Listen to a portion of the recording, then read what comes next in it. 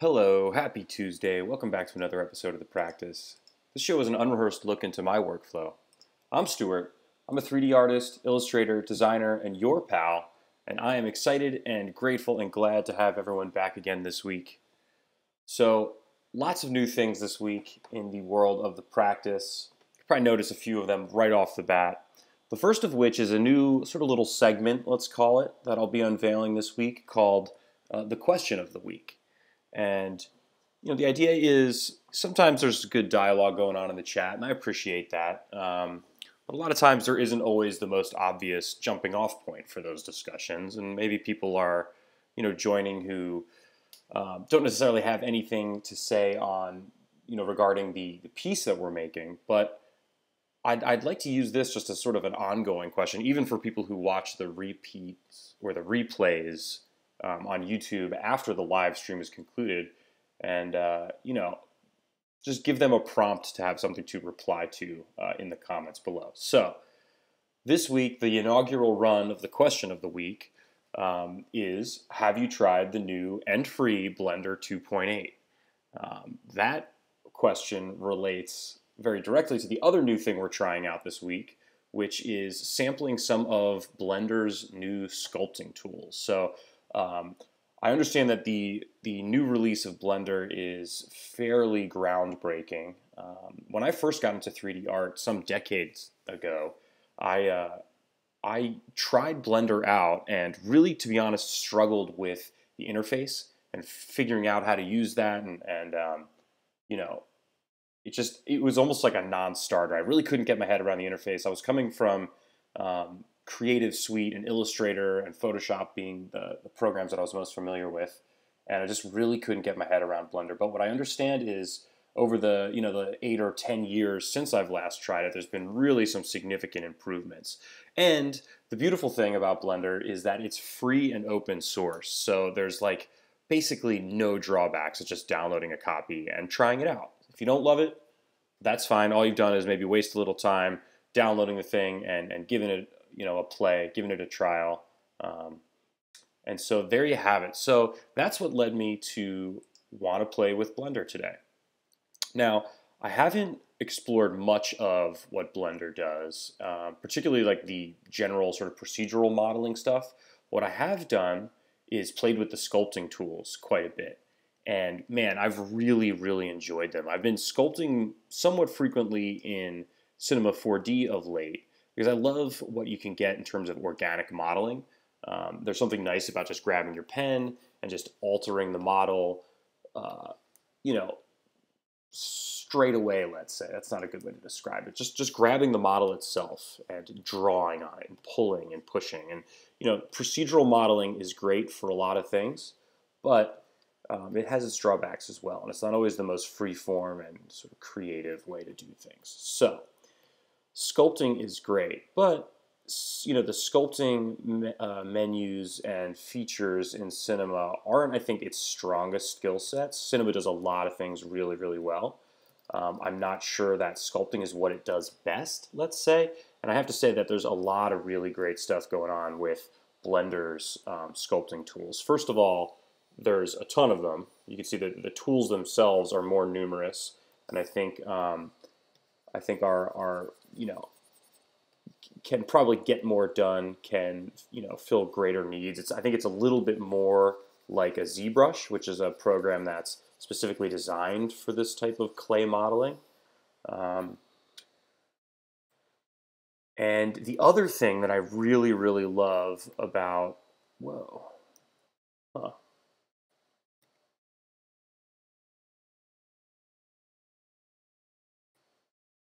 I don't know what I just did. See, this is this is the drawback to using. Um, there we go. So that's cool. So I'm learning about Blender as we go. Apparently, if you press Z, it gets this this heads up menu that allows you to choose sort of the, the view, the, the look of your viewport here. Um, that's not what I want. I want solid. Um, so where was I? Um, the other thing that I really love, I was talking about some of the benefits that uh, the sculpting tools in Blender have over Cinema. The other benefit, I thing I really love is this Dyntopo, which basically um, it allows you to dynamically alter the topography, the topology rather, of the model as you work with it. So um, um, so if we zoom in a little bit,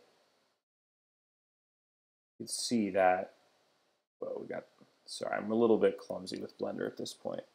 Um, you can see as we zoom in and as we use a smaller tool, it will, re, uh, it will redo the topology as we sculpt. Um, and that's that's a beautiful thing because you want certain certain areas of your model you may really need to be um, more detailed, more high polygon, and oftentimes other parts of your model, if you're working in cinema, are, are way too high poly because it seems like unless you guys maybe can correct me if I'm wrong, but from what I understand, there's no dynamic retopology in cinema. So what that means basically is if I wanted to have high resolution portions of a sphere, I would have to make the entire sphere high resolution. Um, so that would mean that you would have uniform high density of polygons all around the model, which is not what I need. So if you can see what I'm doing here, just as some sort of testing, I'm going to make a new file soon before we get into the real illustration for today. But what you can see is if I use a smaller brush, it actually adds and refines the resolution of the mesh as I work, which is really a pretty amazing thing, right? Um, so between the amount of tools and this dynamic topology, it really it suits me and it seems like a good idea to get to know some of these sculpting tools a little bit better. So that's what I'm doing. So today we're going to make a fun character. It's kind of abstract. We've done a few uh, a few sample projects sort of like this in previous episodes. Um, but today we're going to start that process in Blender and we're going to generate a mesh before we bring it back over into Cinema and start adding textures and rendering. I do have to say that, you know, I will probably still be leaning into Cinema for all the features that it does well and that I know how to use well. There's something to be said for that. So later on in this episode, I'm going to pop back over into Cinema and use it to sort of put the finishing touches. We're really, we're going to start the process in Blender and I'll show you how to uh, export a model so that it um, export a model so that it can be easily imported into Cinema. First, let me save this.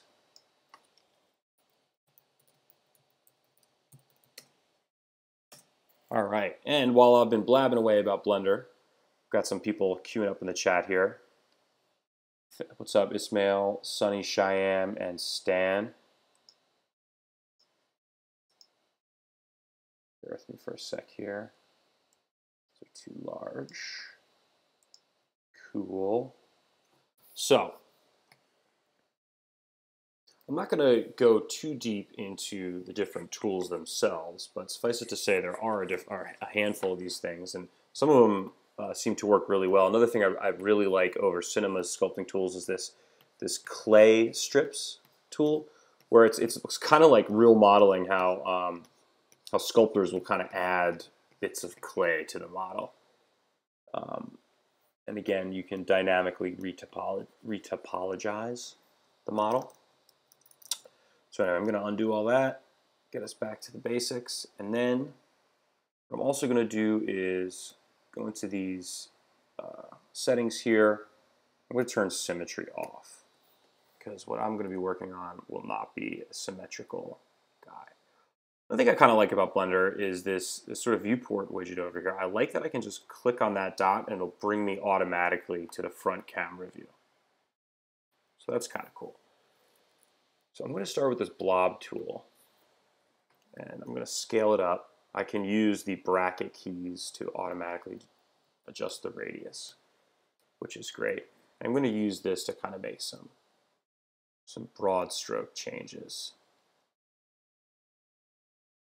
kind of make some bumpy areas.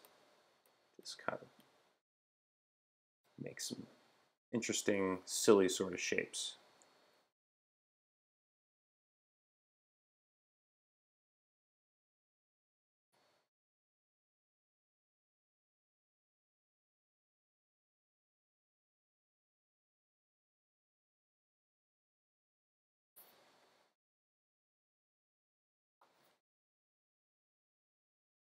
And now it seems like with any tool I can just hold the shift key and it'll automatically allow me to use the smooth tool, which is cool. It's also great as the, the pressure sensitivity seems to work really well inside a Blender.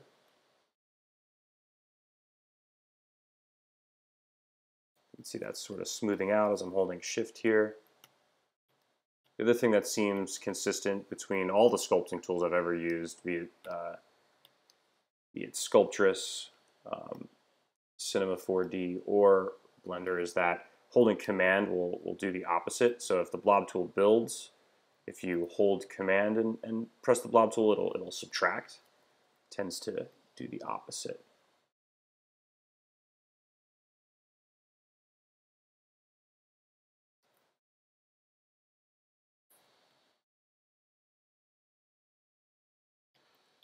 So as usual, I'm starting with kind of your your bigger, broader strokes. So doing these large deformations first, and then we'll you know gradually work in with a smaller brush.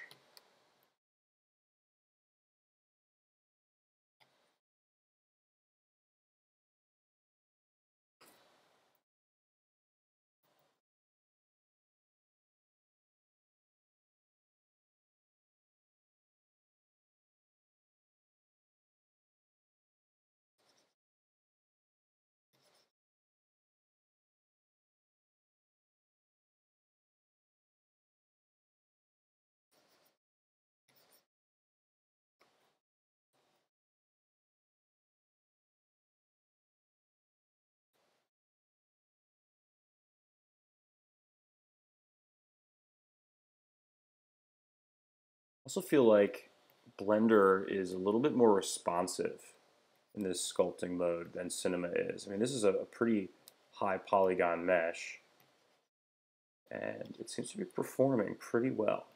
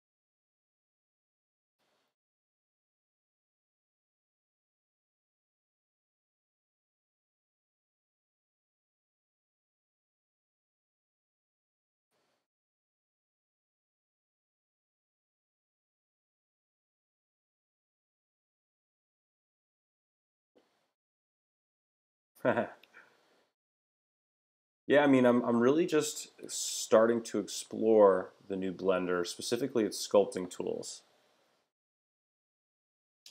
I know some people are really kind of, they feel strongly one way or another. I don't have any allegiances to any single program. I mean, I, I really do. I love Cinema. Um, it's the program that I know best. Yeah, I mean it's it's certainly got its qualities, and from what I understand, the the new and improved version of Blender really has a ton of advantages over the, the previous iterations, which I tried to use in the past but kind of struggled with, to be honest. But it's free, right? So, I mean, there's there's like no there's no barrier to entry. It's, it's definitely worth trying.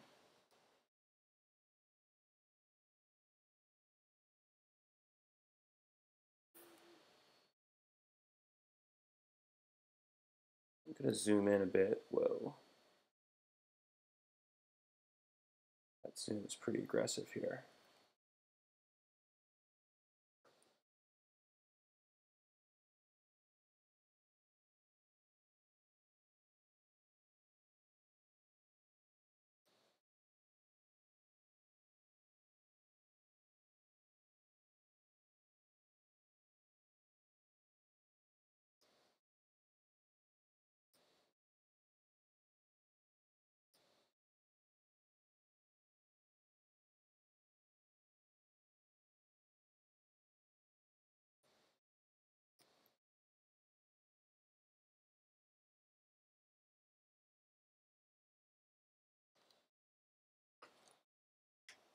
That's interesting.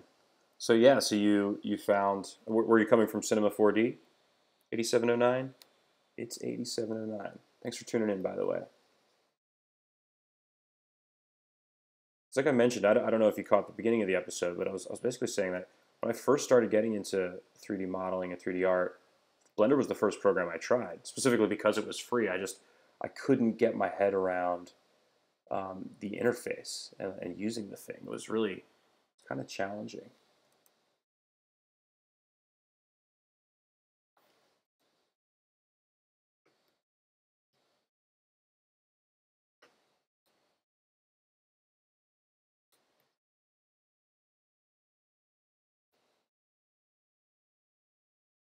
I think what I should do now is turn that Dino top topo back on.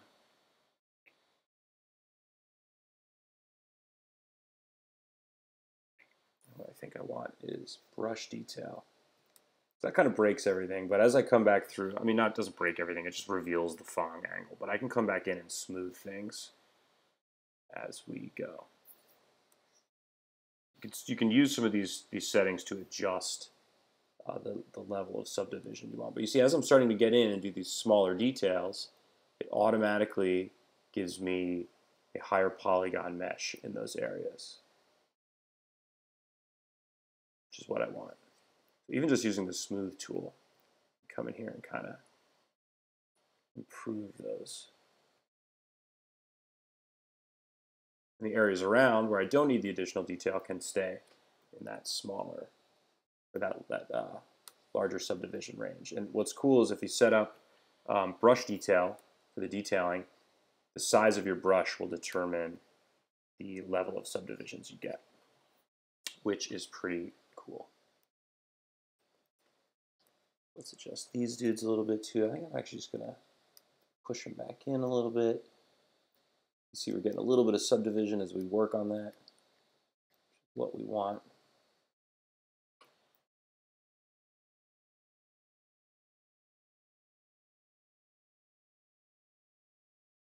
Whoa. Still getting used to the interface tools here, so bear with me as I play.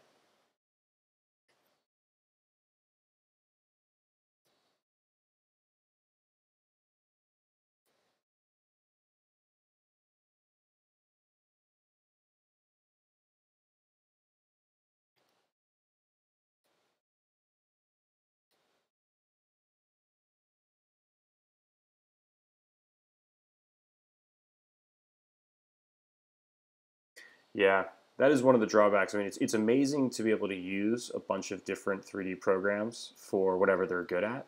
Because there's even things like Marvelous Designer and um, really specific, you know, like uh, not body paint. What's it called? That's the one inside of Cinema 4D. But there's all these there's all these applications that have specific ta- uh, you know tasks that they perform well, like a like a body paint or like a Marvelous Designer is for cloth or like Real Flow is for fluid simulations, right?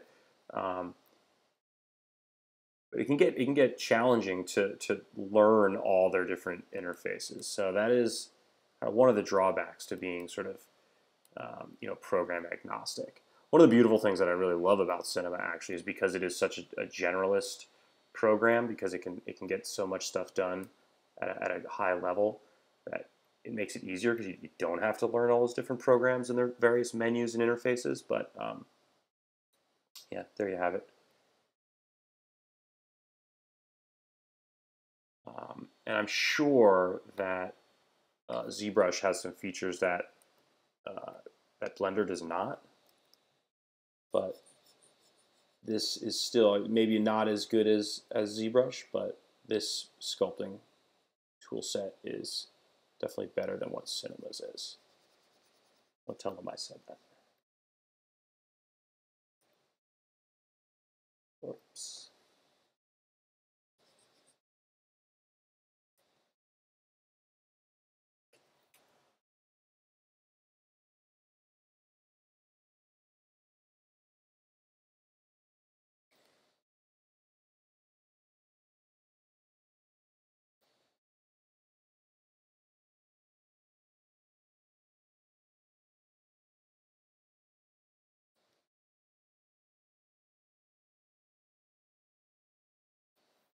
All right, so we got some cool bumpy things going on.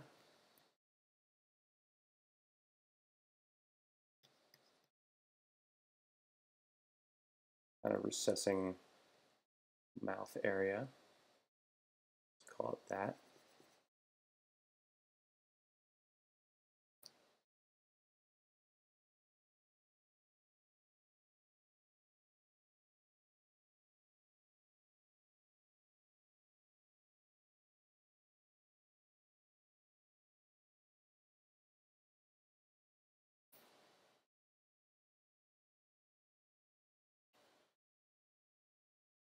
Hmm. Now Maya is one I don't know anything about. That's one that I've, never really even tried. Oh, I see. Okay. For retopo.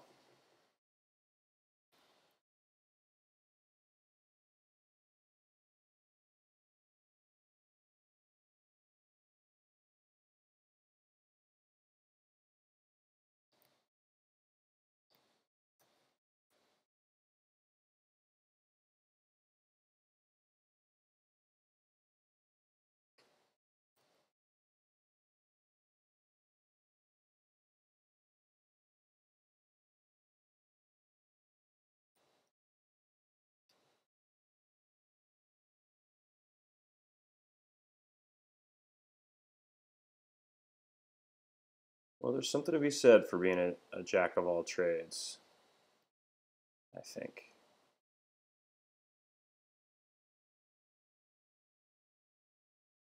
I'm, I am that in a way as well, I think. Maybe not so much in the amount of programs that I use, but definitely in the type of stuff that I make. I'm, I'm not necessarily a character designer, though I do a lot of character designs. I'm not necessarily an environment designer, though I love working on landscapes and environments. Um, I can animate a little bit, but I'm not great at it. I know a little bit about rigging, but I'm not great at it. Um, I tend to focus on the image or the animation the final product itself rather than, you know, what it, what it takes to get you there. I'm not sure if that's the best way to work, but that's how I tend to work.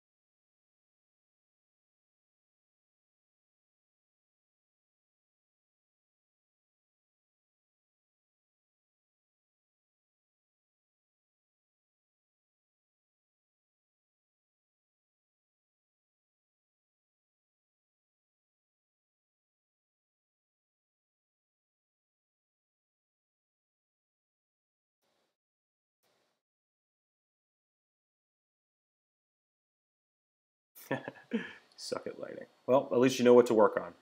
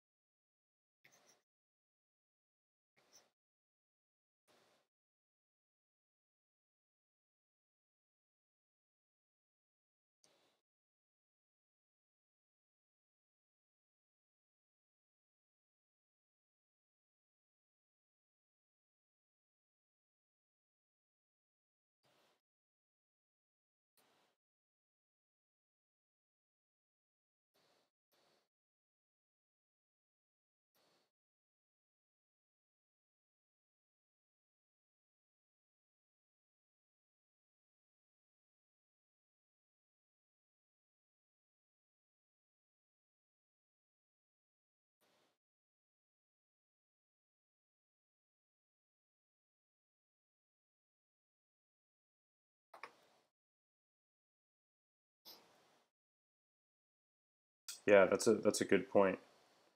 Really, nowadays, it's you know, if you have an internet, uh, if you have access to the internet, then really what you learn and what you're able to learn is is more a uh, it's more about your appetite for learning than it is your of you know the ability to access information. The information's all out there. There's no excuses anymore. It's really pretty amazing.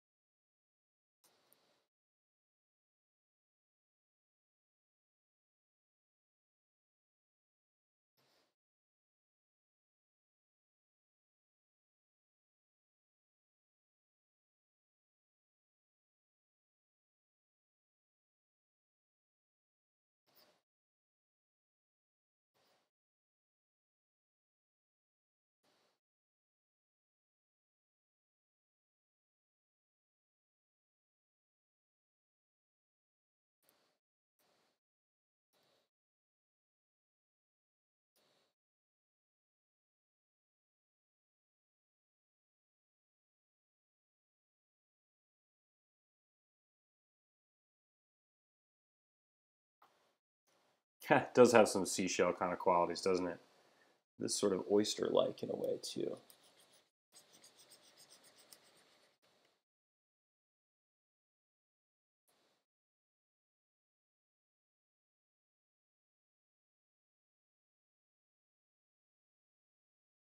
The idea here is to create this sort of amorphous kind of base for the character's head. um, what's up, Omega? Thanks for tuning in. Um, I appreciate your enthusiasm, and I understand that you you want to make a mage. Um, I've done characters like wizards in the past, and perhaps I'll do them again. But um, this show's really a lot of it is about pursuing and following sort of what inspires me and keeps me motivated to keep creating. So maybe I'll get to it one day, but um, no promises that's going to happen right away. So appreciate your enthusiasm though.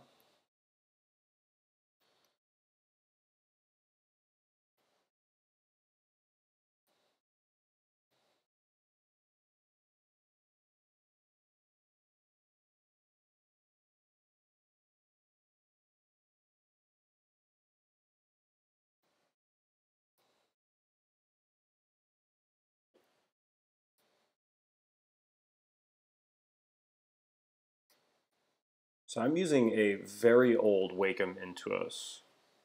Um, I think it's this one's probably well, probably 10 years old, maybe maybe older. Still works pretty well. I mean, I haven't beaten on it. There's been whole years that it stayed in the closet without being used much. Um, I used to do before I got into 3D art. I used to do some digital painting, and that's really what I got it for and, and used it most for initially. Um, Nowadays, I'm not doing as much, and I use it mostly for, for retouching and things like that. Um,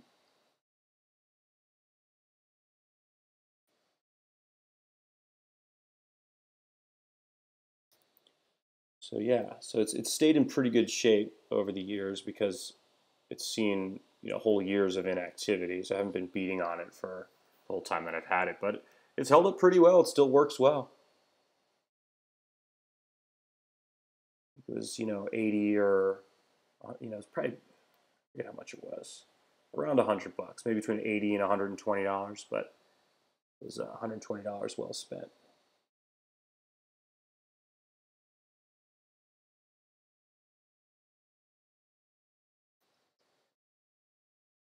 I'm just going through with increasingly small brushes and just kind of building up detail. It's really kind of a fun, almost relaxing thing to do.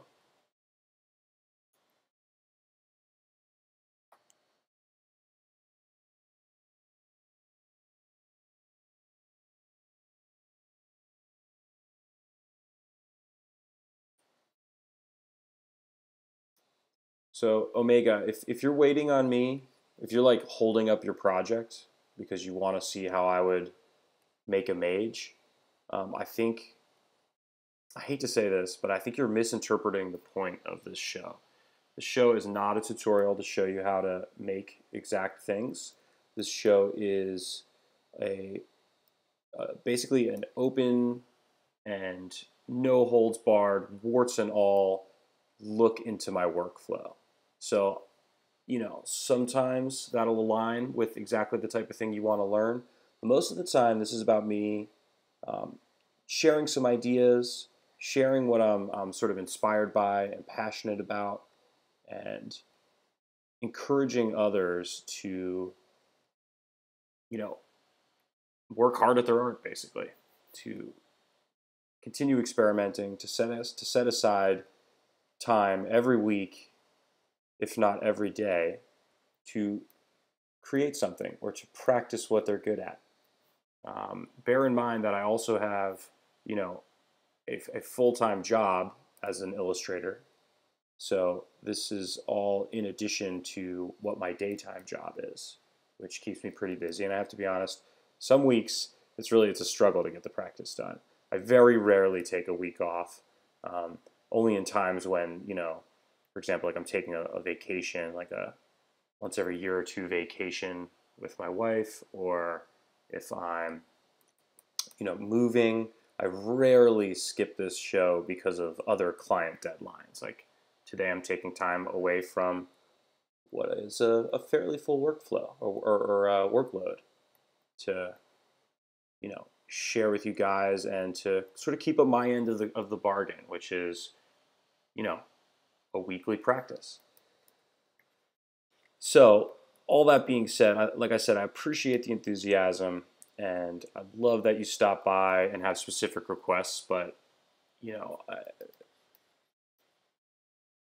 I, I selfishly have to pursue sort of my my passions and inspirations, and I can't just like I can't just sort of like take requests every week or you know I get sometimes it's kind of frustrating. Sometimes I'll get like kind of angry or it seems like some of my viewers are upset with me because they're like, you know, this isn't what I asked for, or the recording's going too fast, or you didn't share all the keystrokes, or you're doing that wrong, or whatever. Like, you know, if you want to learn specific things on YouTube, there are just so many channels. If you use the right keywords, you can find out basically how to do anything, which is amazing. And I use those tutorials all the time because sometimes I have very specific things I want to learn about.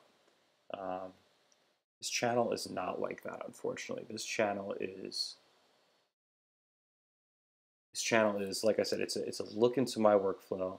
It's live art creation. It's me babbling endlessly about all kinds of BS, and it's me sort of encouraging you to follow your passions to keep working hard at the things that you want to get good at. So I'll tell you what, if you want to make a mage and send screenshots of the model my way, I'd be happy to give you feedback. I'd be happy to give you some pointers. Um, maybe even I'll create a mage one day. The other thing is like it's you know probably your mage. There's a very specific thing you have in mind that you want to create and it's it's possible that my vision of a mage wouldn't fit with what you're trying to make.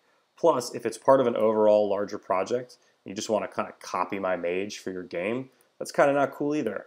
You know, if people want to follow along and create something that's similar to what I'm creating on an episode, I think that's awesome. But if you want to like use that as a school project or in your video game, I think that's kind of lame. You know, there's a whole huge swath of people whose whole portfolios are just like, you know, you could see like their, their tutorials. You could see it's just like a direct ripoff of something that Eyedesyn or Grayscale Gorilla has on their website, and you know, it's kind of dishonest. I mean, tutorials are great for learning things, but that should be so that you you can take on some technical information and use that to create the thing that you want to create. Not so you can just like have no ideas or creative output yourself and just kind of use this technical skill that you've taken from a tutorial and put that into your portfolio or your game or your project verbatim. I think that's that's kind of not cool. That's the opposite of creativity. Okay, anyway, I've been blabbing and blabbing. Um, cool. So that's good to hear, Omega. Um, I'll tell you what. Let's let's assume this is a mage. I'm working on a character now. He's going to be really crazy looking. Imagine this guy with some eyes and some shoulders. So this this is your mage. This is a mage. Whoops. This is another worldly mage the depths of some alien dungeon. Probably.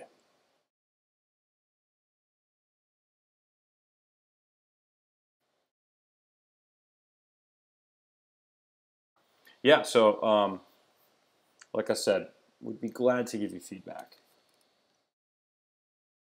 I'm, I'm here for you guys, but not in the way that other channels are.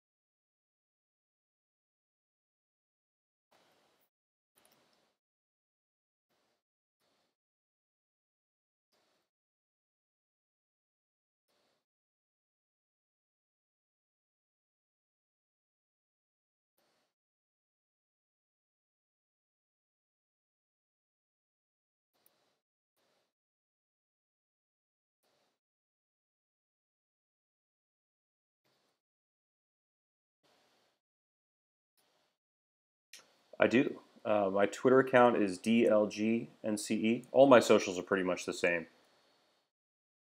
That's actually a, a shorthand for diligence, which is what I call my illustration studio. Diligence Studio. And I have to be honest, although I do have a Twitter account and I'm on there occasionally, I'm not as active as I once was on Twitter. I think the place to stay most up to date with the stuff that I'm working on is is my Instagram page. Which even then I'm, not as active as as I could be. Um, I've been kind of leaning away from social media a little bit of late. And a lot of times I'm just kind of on there looking around and I could be productive. I've also had a ton of client work lately, so um, you know when I'm not busy with client work, I'm, I'm trying to make personal art and share it on social media. Um, but lately, I haven't had a ton of time for, for personal work. been working a lot of weekends and just trying to keep up with client workload. So, and that's that's a great thing. That's those are good problems to have. So I'm definitely not complaining, but I'm not as active on social as I occasion, as you know, I sometimes am. It's been little bit slow of late for me on social.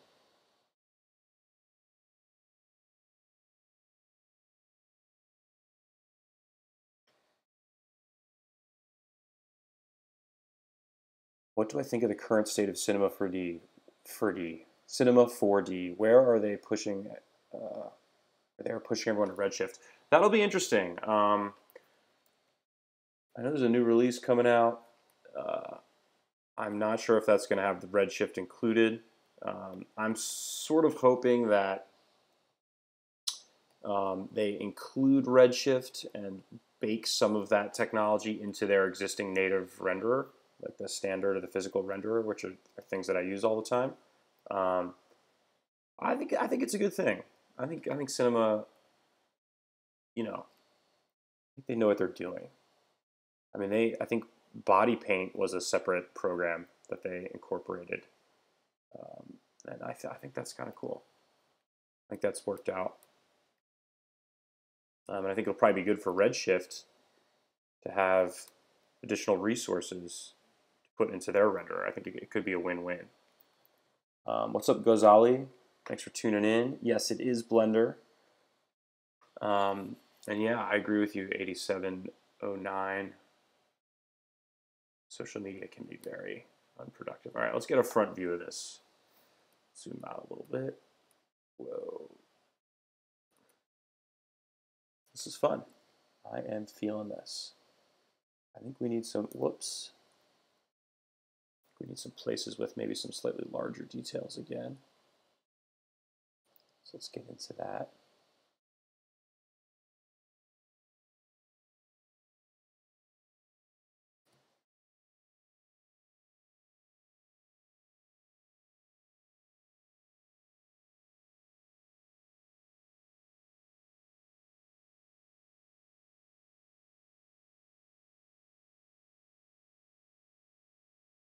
So why thank you.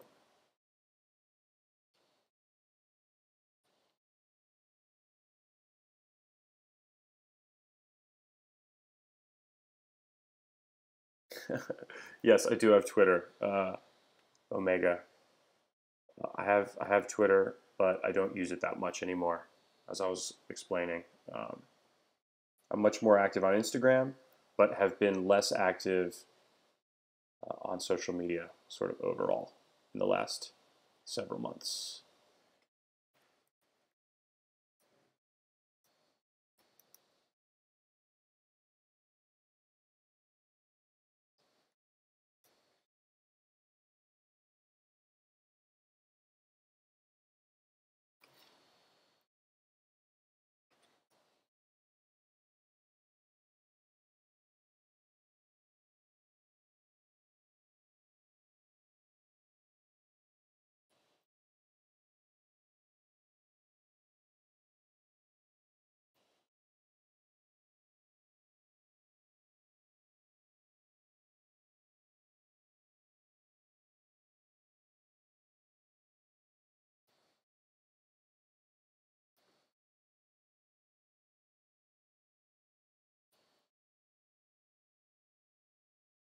Hey, Spooky. Um, so I did spend the first, uh, the first, whoops. I spent the first uh, portion of the episode really discussing that. I think it's amazing uh, for a free program how sort of robust and high quality these sculpting tools are. I think uh, Cinema has some nice sculpting tools, and I, have used them increasingly of late. Um, but I think I think it, Blender's got the leg up. They've got this thing called Dyntopo, which allows the topology to be adjusted dynamically as you're sculpting, and you can add areas of detail where you need them instead of like uh, instead of increasing just you know with brute force the overall uh, the overall subdivisions in your model. which is, is really awesome. And they do they have a, a broader range of sculpting tools themselves. I, I've really been enjoying it. Oh, that's cool. Yeah, I mean, I imagine that um, that funding has sort of helped them with this new release because it's been it's been awesome. Okay, cool. Thanks, Omega. I'll I'll check that out when I'm done here.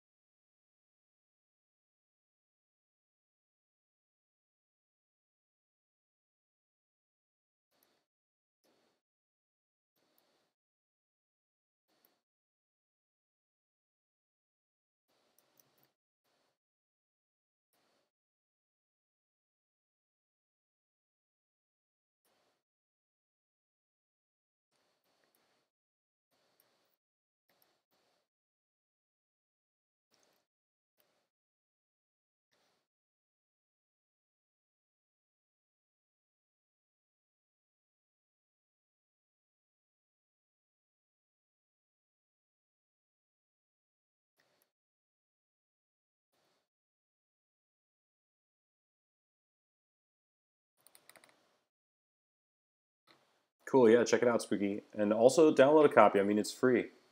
I guess for, for everyone just tuning in now, I'm, I've started sort of a new segment this week.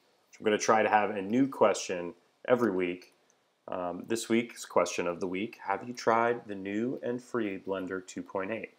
I definitely already know that answer for some of you in the chat as you've been talking about your experiences with it. But that'll be great for everyone catching the live stream after it's over in, uh, you know, just one of the, uh, you know, watching the recording after the fact on YouTube. Um, um, I can get smoother normal displays. Uh, I think like this, um, which is nice. But for now, it's cool to see uh, sort of where the mesh is uh, getting subdivided.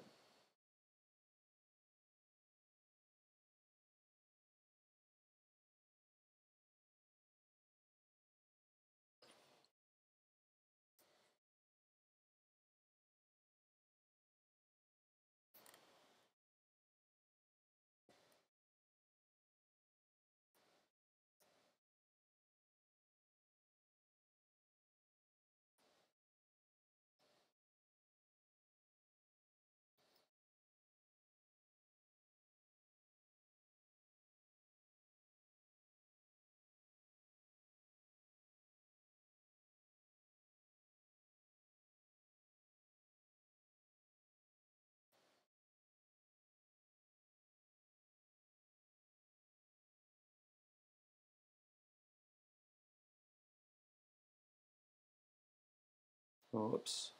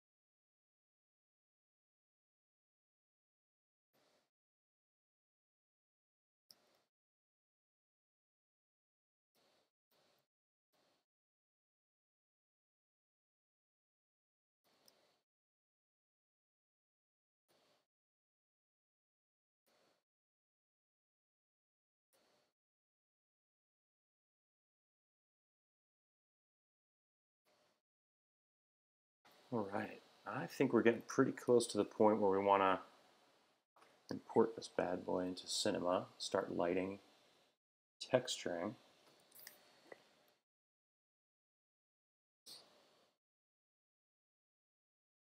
Pretty wild, pretty abstract stuff going on here.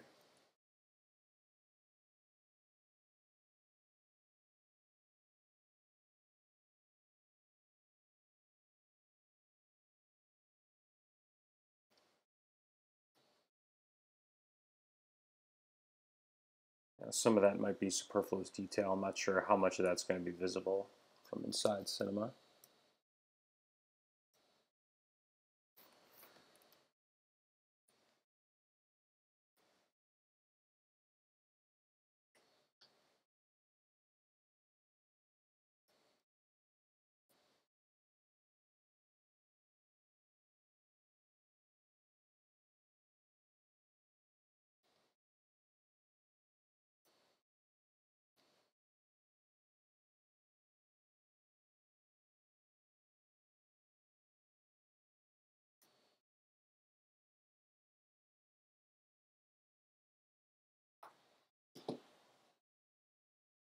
All right, so let's try this. Let's let's get it over into Cinema. To low res mesh, what would be your workflow with Blender and Cinema for the purpose of sculpting and baking displacement? Well, so for this exercise, I've been going really high poly on the mesh. Um, so I'm not sure if I have a great answer for you. What you could do is start with a lower poly mesh and you know just do it care like sculpt carefully so as to not to increase the polygon count so much. And then you could bring it into Cinema and use things like the polygon reducer um, to bring it down. I'll show you what I mean. Um, so I'm going to save this file quickly, and I'm going to export it. Whoops, file, export. I find that FBXs tend to work really well. Um, export. Now let's, let's boot up Cinema.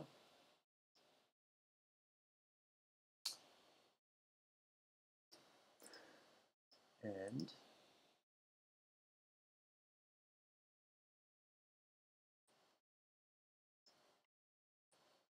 let's merge. Can you merge a Blender file directly? No, you can't. But grab this FBX, bring it in, and then, whoops, delete the camera, and delete the light. And you'll see there it is. There is our crazy high polygon sculpted mesh.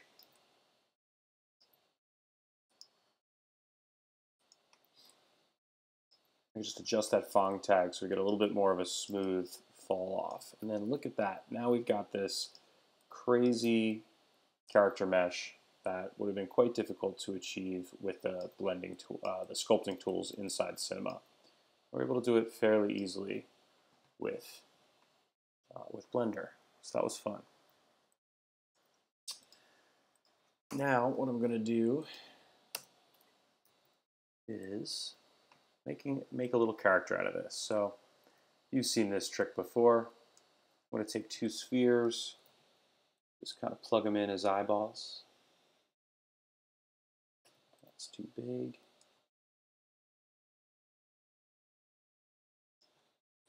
What I could do is Let's throw this inside of a null, and then a symmetry object.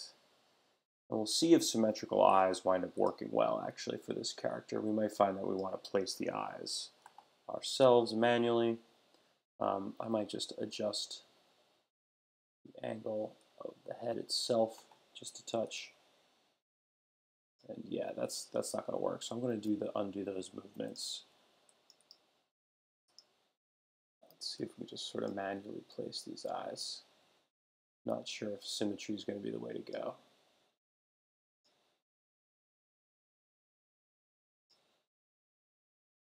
Now, a smart thing would have been perhaps to add these eyes in Blender and sort of sculpt around them.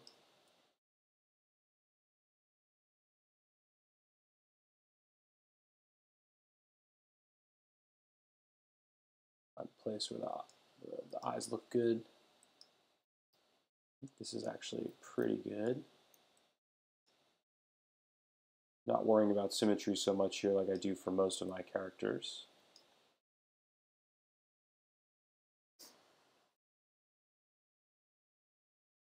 And now I can also do, I'm going to set up a camera angle for myself actually first.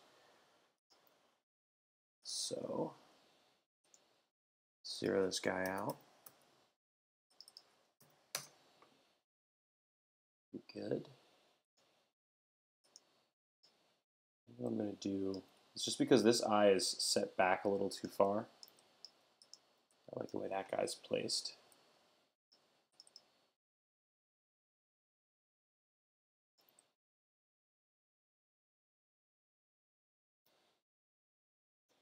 I'm just going to do a soft selection. Get down to the appropriate size. This mesh is pretty small. Let's do that first before we do anything else. Just scale everything up. I'm going to scale the camera and everything as well, along with it. Um, I'm going to zero these guys out.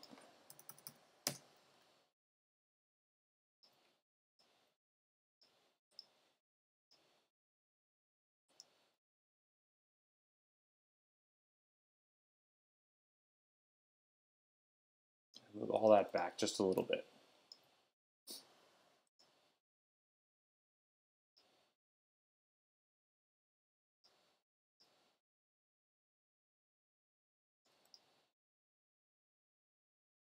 All right. Now let's add some really simple shoulders here. Cube we'll round off with a fillet. Because this is the, the head of this character is so insane and richly detailed, I think it makes sense to keep shoulders really kind of simple so they don't compete.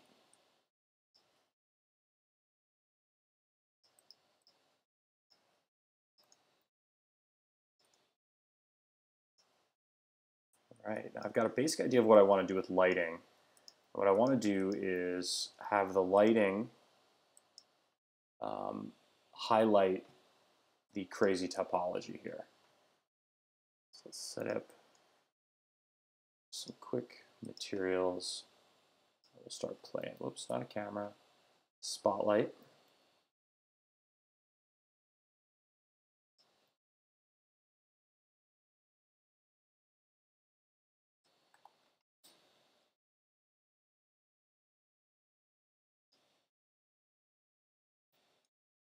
Nice big spotlight and a fairly direct overhead angle.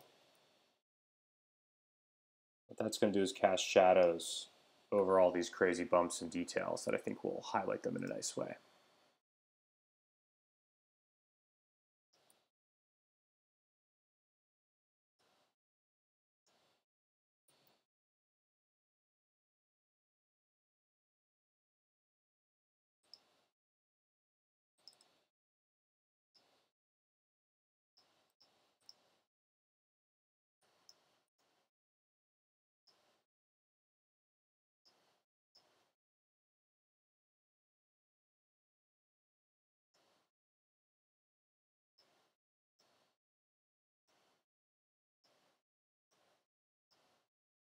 Let's play with a little subsurface scattering here.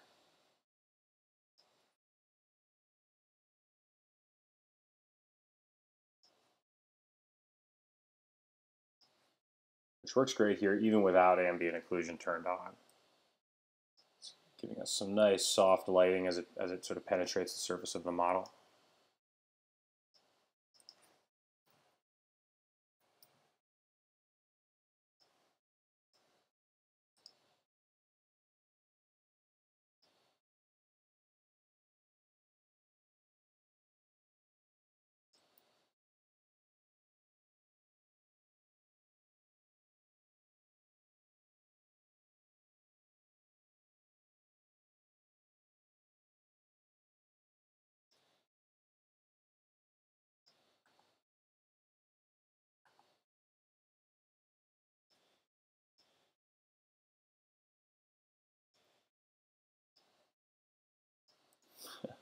Pretty cool already. Try a little square format action.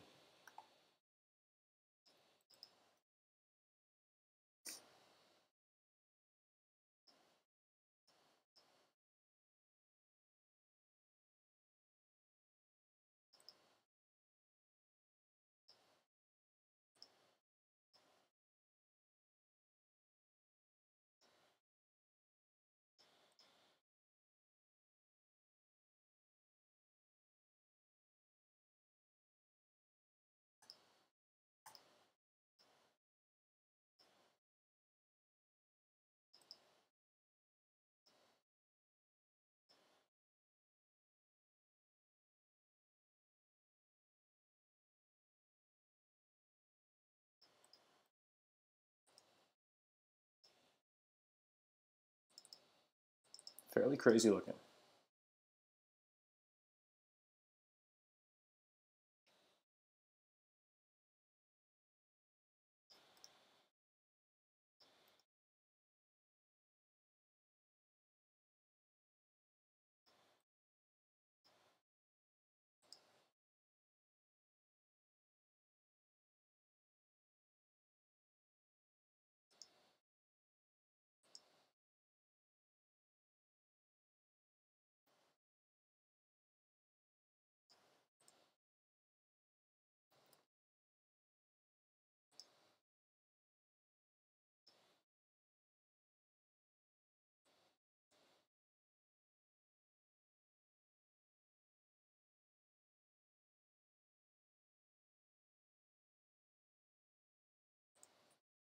I'm going to add a little ambient occlusion, which I think is going to help highlight some of these bumps.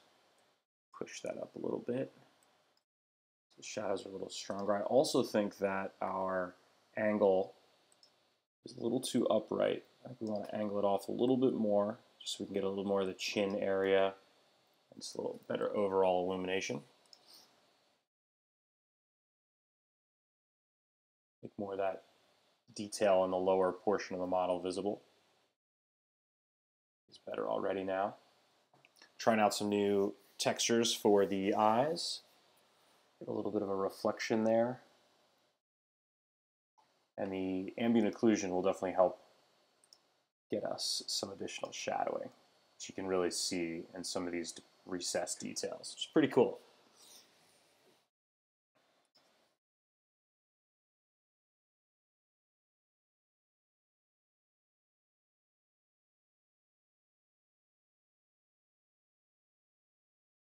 Now a lot more of our details have become visible. I think perhaps I could go up a little higher on the luminance here. Maybe add a bit of green to it.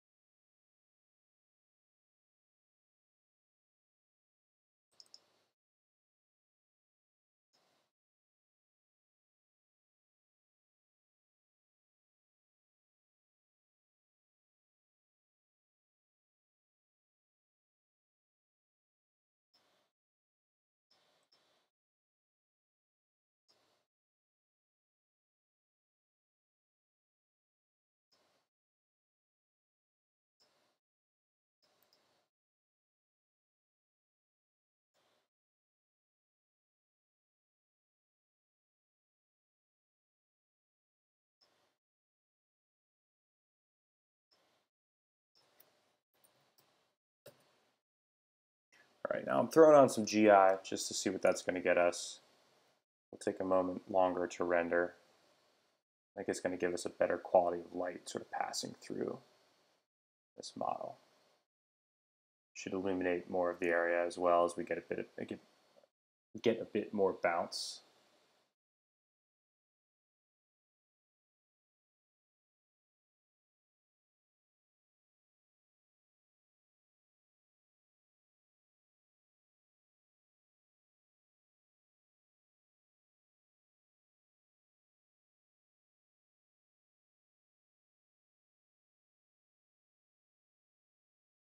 definitely see on the interior of that mouth we're getting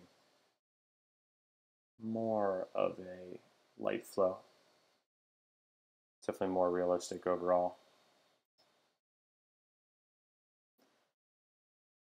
I'm wondering if we need just a little bit of a low light to help with our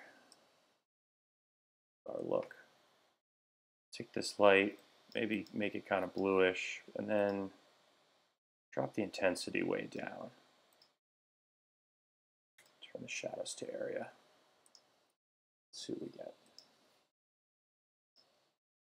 It's definitely going to help fill in some of these lower areas.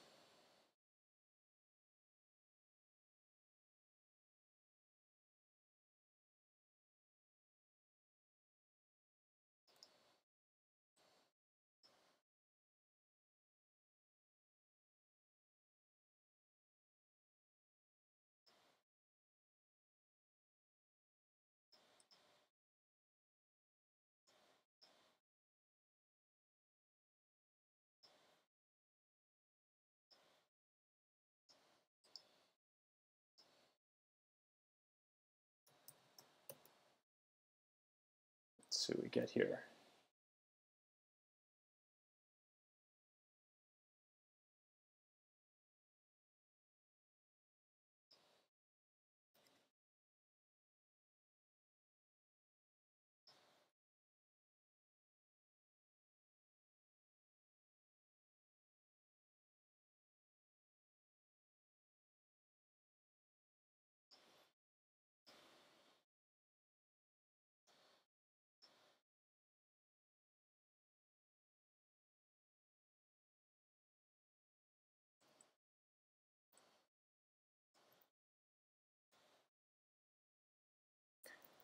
I'm going into the sculpting tools here in Cinema, hoping it reacts well. I'm just, I'm not loving the way that this eye is intersecting with the model behind it. So I'm going to try and model a little bit more of an eye socket. Let's see how. You see it's, I mean, with the same mesh, it's definitely more laggy in Cinema than it was in Blender. Blender was, was really surprisingly snappy. Actually, let's quit this. Maybe that'll make a difference.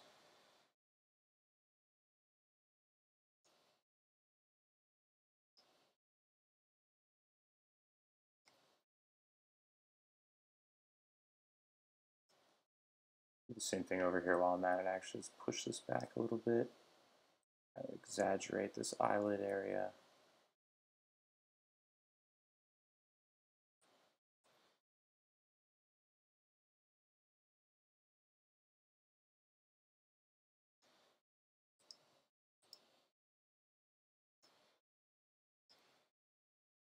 Without and with that blue light. Yeah, I like that. I think we can even go a little bit bluer, a little bit brighter.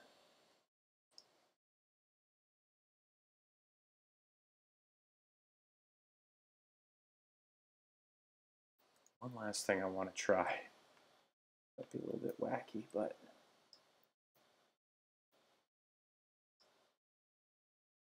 take a couple of these deeper holes kind of put a luminant object inside of there.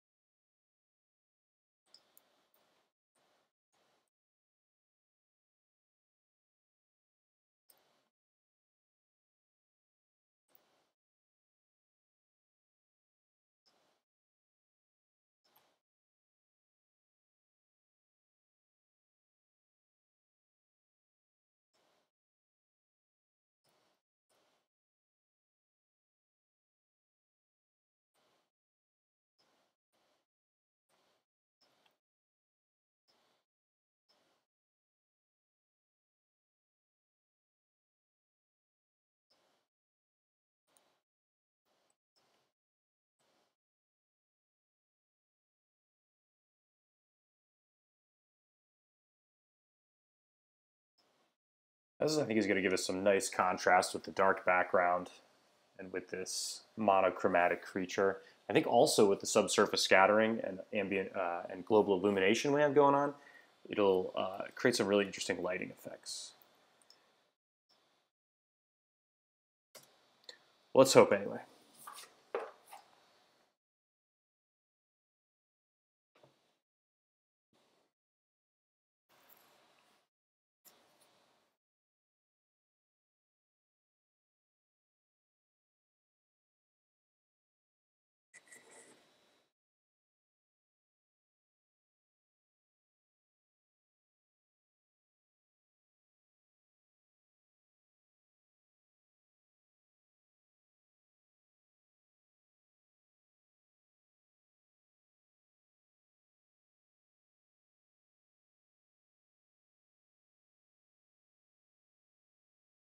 Definitely see the light penetrating areas of the model around those little glowing spheres, which is pretty cool.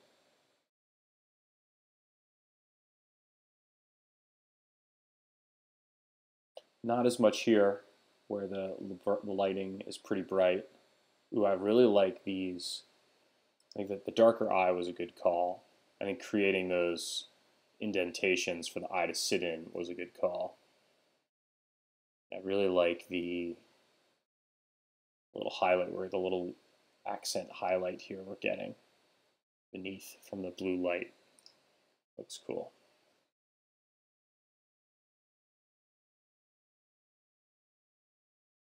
do enjoy the way these sort of sit inside of the model. Kind of a neat effect.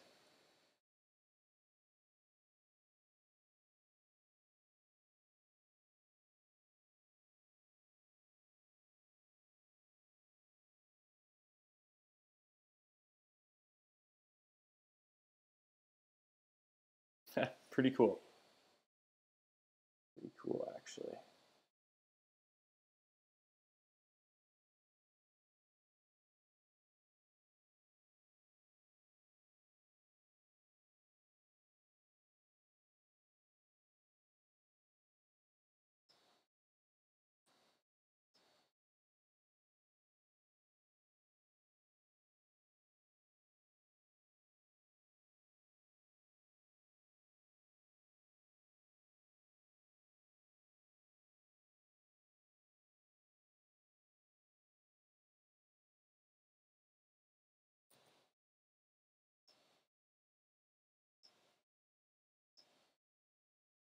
All right, crank the gamma up a little bit. Let's try one more test rendering.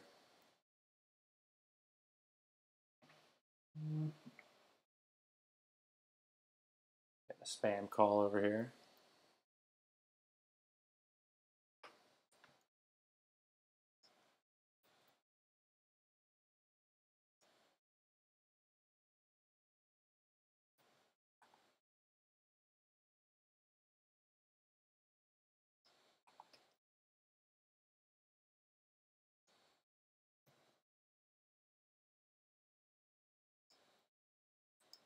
Also thinking, does this guy need kind of a little tongue this big gaping mouth of his? Perhaps he does.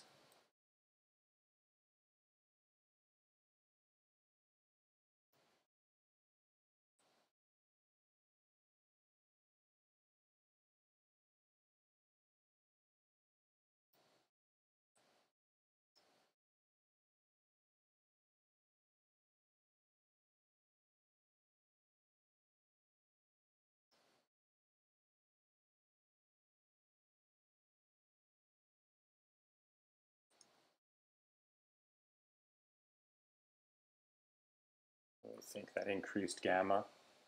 Pretty good.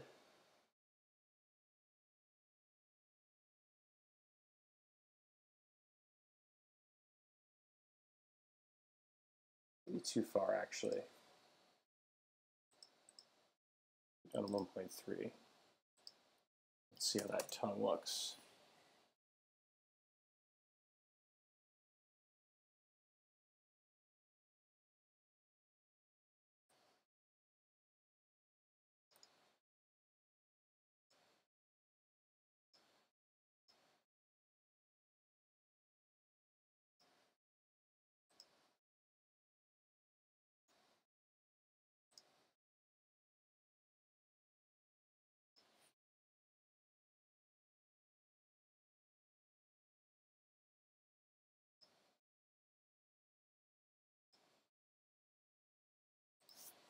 Yeah, I like the tongue. But I'm thinking maybe I'm not crazy about this color range either. Yeah, definitely need the tongue. Let's try a different color range real quick. Hardly ever use red. Let's let's give red a try. Yellow and red.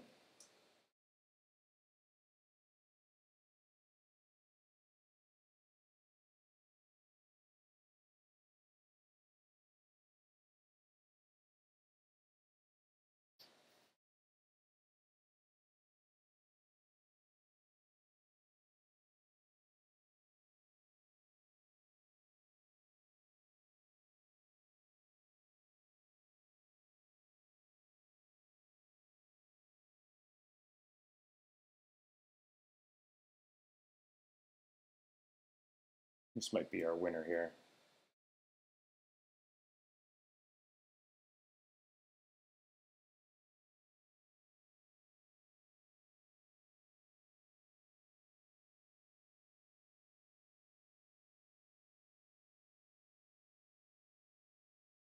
And now I'm not sure if I'm going to have much time for today, but what would be really cool is to take this sort of character experiment, bring it into Photoshop, and then do a paint over. Couple episodes back, um, I did an episode where I, I, did some sculpting and created a character with a similar sort of look in cinema, and I rendered it out, and I spent about an hour um, just painting over it in Photoshop, adding tons of additional details and texture and you know, noise and darkening certain areas, lightening certain areas, and just adding a bunch of additional visual interest as sort of a 2D paint over came out really, really cool. I think there's a lot of potential to do that with a character like this.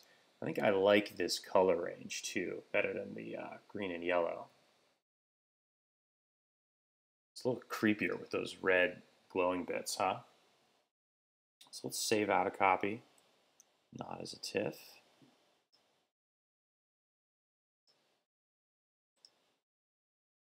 Cool. Now let's give them a quick, quick bit of love in Photoshop.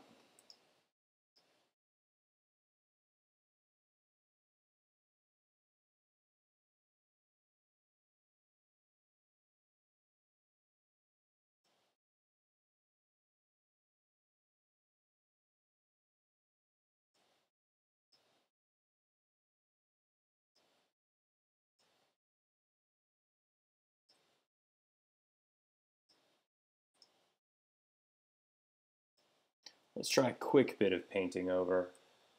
I like to add some noise. Whoops, not filter gallery. Filter, add noise. Let's add a good amount. Set that to multiply. Oh, much darker. And delete it. Luckily, I've got my handy dandy tablet already. I'm going to pick one of these brushes that I like. Is it this one? Seems too big. Yeah, there we go. And now what we can do is draw in noisy areas. This is not the pencil I want. There we go. So if we want to add darkness to certain areas, I think this is too dark. Let's turn that down. Come in here and add kind of some noisy darkness to some of these areas.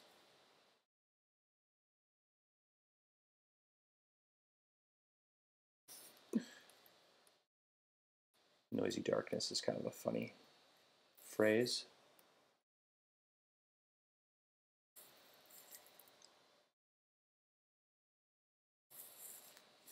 See, I can do things like this where I'm just darkening whole areas. It's kind of nice. And I can go in and sort of like sculpting, just add in additional details.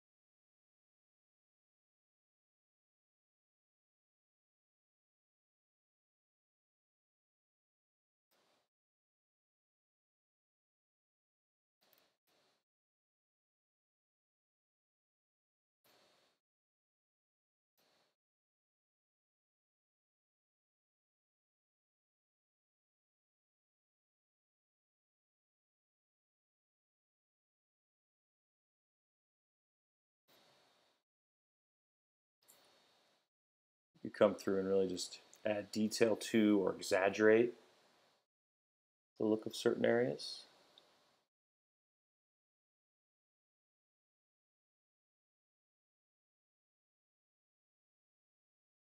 What I'll also do is just grab some of this yellow color, set a layer to like overlay, something like that. We can come through and add some additional highlight details.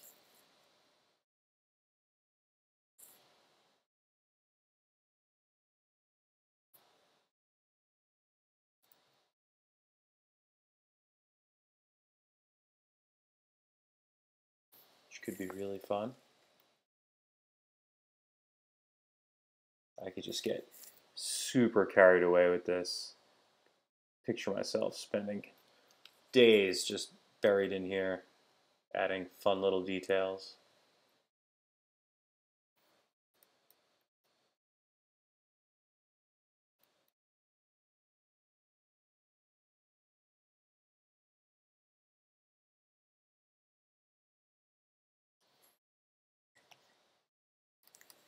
This is a cool way to really take your rendering and add some kind of painterly qualities to it.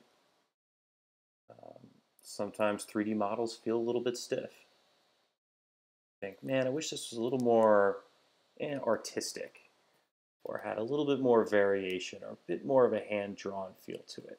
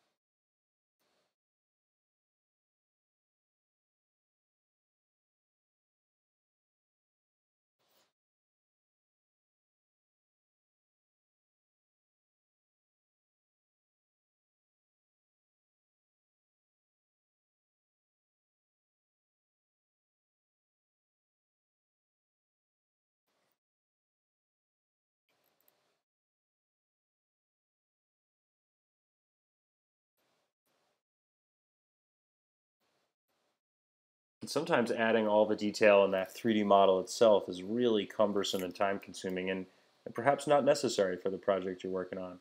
You just come through and add it in Photoshop. Just paint it right in.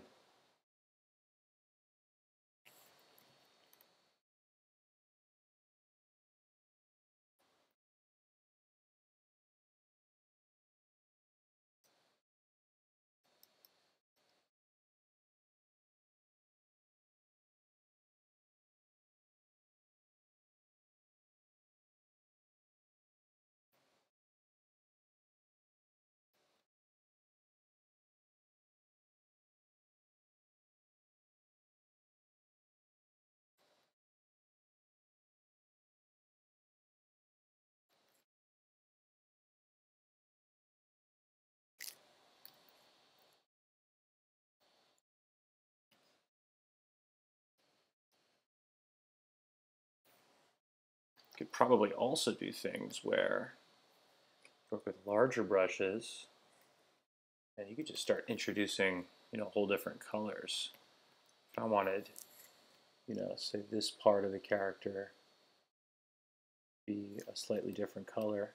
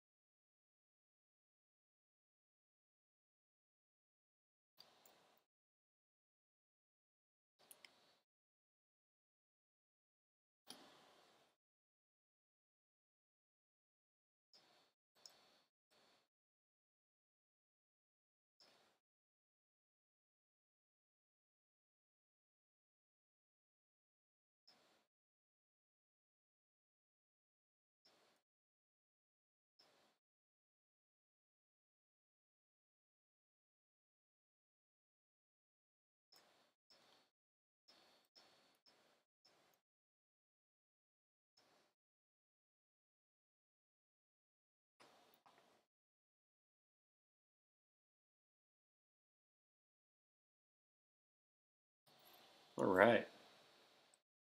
Now that is a very wild and strange, but very organic and richly detailed character design. I had a lot of fun playing with the new Blender in this episode. I think the sculpting tools are something I'm definitely going to revisit in future episodes. I could really see it augmenting my workflow nicely. So, uh, not only that, it, was fun to try three different programs um, in this single episode Blender, Cinema, and Photoshop, each adding their own sort of unique strengths to um, what could be a very useful workflow. So, really appreciate you guys all tuning in. Um, hopefully, you found something useful. Um, if you like what you saw, please give the video a, a, like and a thumbs up and hit subscribe, and you'll be, uh, you know, first in line to see new episodes that uh, are live on this channel every Tuesday. Uh, if you want to keep up with me and the work that I'm doing, please hit me up at DLGNCE on Instagram and check out my website at diligence.studio. And in the meantime, keep up with your practice, keep creating cool stuff, reach out with any questions, and I'll be seeing you guys for another episode this time next week. Thanks. See ya.